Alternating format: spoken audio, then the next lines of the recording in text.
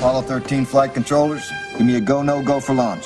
You know that Easter vacation trip we had planned for Acapulco? Uh-uh. Procedures. Go. Control. Go flight. There might be a slight change in destination. Really? Maybe say the moon. Booster. Go. Retro. Or go flight. GNC. Or go. And I take the controls and I steer it around FAO. we go flat for a nice, soft landing on the moon. Better than Neil Armstrong. Does it bother you that the public regards this flight as routine? There's nothing routine about flying to the moon. I can vouch for that. Launch control, this is Houston. We are go for launch. The clock is running. Houston, we have cleared the tower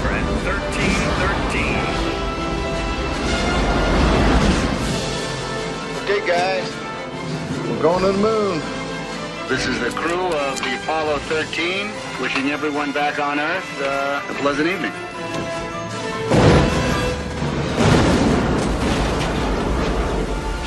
Uh, Houston, we have a problem.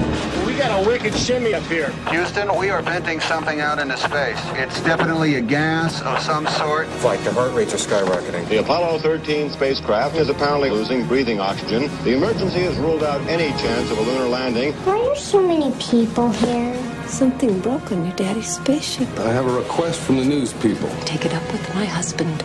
He'll be home on Friday. Flight, we have lost the radio contact. EECOM, what's your data telling you? It's, it's reading a quadruple failure. That can't happen. It's, it's got to be instrumentation. The ship's bleeding to death. This rate, we're going to skip right out of the atmosphere, and we're never going to get back. Oh, we're looking at less than 15 minutes of life support in the Odyssey. We never lost an American in space. We're sure as hell not going to lose one on my watch. Odyssey, do you read me? How long does it take to power up the LEM?